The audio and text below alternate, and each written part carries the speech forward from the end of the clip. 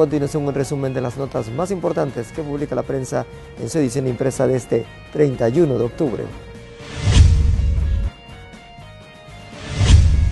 En Panorama se publicará un análisis sobre los resultados del paro de los médicos, el cual ya tiene dos semanas. Los médicos y otros gremios del país insisten en el que el proyecto de ley 349 que crea la asociación público-privado, el cual podría discutirse en el próximo periodo de sesiones de la Asamblea, permitiría la privatización de algunos servicios. En Economía y Negocios se informa que Panamá solicitó a la OCDE un reporte suplementario que actualice todas las acciones que el país ha tomado a partir de mayo de 2010 para el intercambio de información fiscal. Panamá y otras ocho jurisdicciones no pasaron el primer filtro fijado por el Foro Global sobre la Transparencia Fiscal.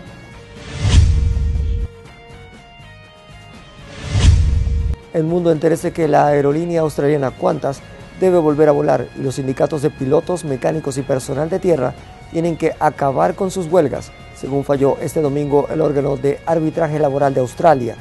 La decisión concede 21 días a todas las partes implicadas para que alcancen un acuerdo y se produzca un cese de estas huelgas. Qantas anunció que ha dejado en tierra a más de 80.000 personas en todo el mundo.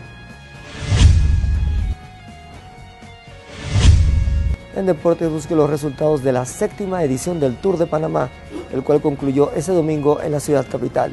El Tour de Panamá culminó ese domingo con el circuito cerrado de calle 50, que incluyó 14 vueltas de 6 kilómetros cada uno. En Vivir Más se analiza cómo celebra el panameño las fiestas de Halloween y sabrá si se disfraza, acude a fiestas o lo disfruta en casa.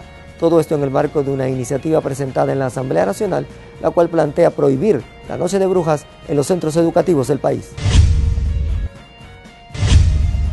No olvide consultar prensa.com, la página de la prensa, el diario libre de Panamá.